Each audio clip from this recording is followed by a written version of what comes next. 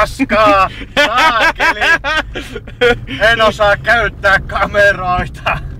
Tästä tulee yhtään mitään tästäkään hienosta videosta. Minä koitin niin vaivalla kuvata tätä meidän saapumista tänne Rääkkylään niin runollisesti ja kuvainnollisesti. Niin hieno usva keli sattuu vielä, niin voi perkele, kaikki meni teknisen takapakin takia.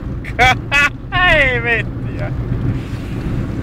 Minä niin hienoin korulausein siinä lausuin tämän meidän upean usvaisen saapumisemme tänne lintukoto Rääkkylään, mutta sitten se kamera ei ollut edes päällä.